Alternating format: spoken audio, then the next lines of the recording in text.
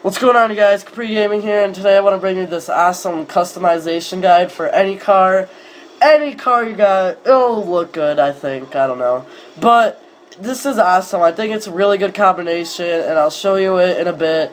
I just want to thank you guys for views and everything, and subscribing, and hopefully you enjoy this video. So you're going to want to do is come the primary color, go down the matte, then go to black. You want to get a full black on there, then after just so you don't get that shine. That's why matte's better.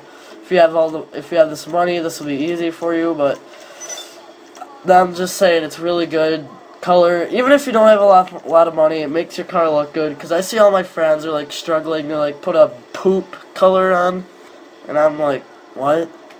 They just don't know what to put. So then what you're gonna want to do is come to respray secondary color.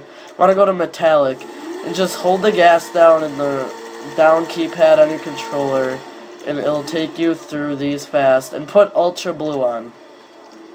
As you can see that looks really good like that just that blue just stands out. So what else you want to make your car look any car look good on is with these wheels.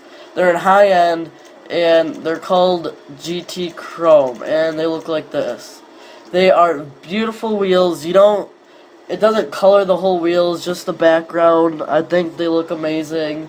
Because, you know, like, when I switch these, look, some of them look good, but with Ultra Blue, it looks awesome. But sometimes you just don't want all the wheel that. But that looks pretty sweet in the background. And this car is awesome. It works for, like, any car. It just, the blue just stands out, just pops out in front of everyone's eyes. And I think it looks pretty nice. If you guys want to see more, please drop a like. Customization guide, I really like this, and you guys can use it a lot. Some of you know it already. Congratulations.